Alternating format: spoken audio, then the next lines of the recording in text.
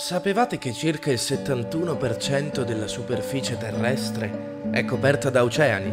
Sì, lo sapevate. Però non sapevate che un terzo della grande barriera corallina è morta a causa dell'aumento delle temperature. Ah, sapevate pure questo? E allora non sapevate che per salvaguardare i coralli sono stati creati dei veri e propri vivai sott'acqua. Gli oceani producono il 70% dell'ossigeno che respiriamo.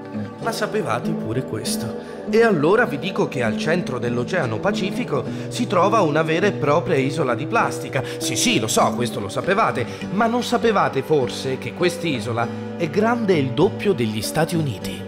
Ma se siete così sapientoni, allora sapevate che i pesci del nord del Pacifico ingeriscono globalmente tra le 12 e le 24.000 tonnellate di plastica immersa nei mari.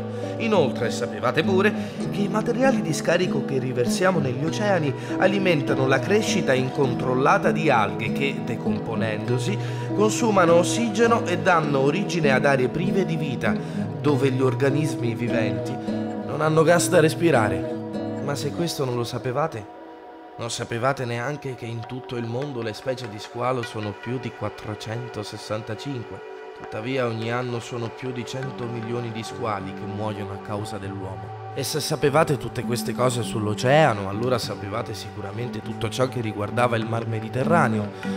Per esempio, il 33% degli habitat marini italiani di interesse comunitario presenta uno stato di conservazione inadeguato a causa delle elevate pressioni cui sono soggetti mari e coste italiane. Inutile dirvi che anni di pesca eccessiva hanno reso il Mediterraneo il mare più sfruttato al mondo. Se sapevate tutto questo, non vi dirò di non comprare pesce, o neanche di non consumare prodotti di plastica, ma quantomeno se sapevate tutto ricordatevelo.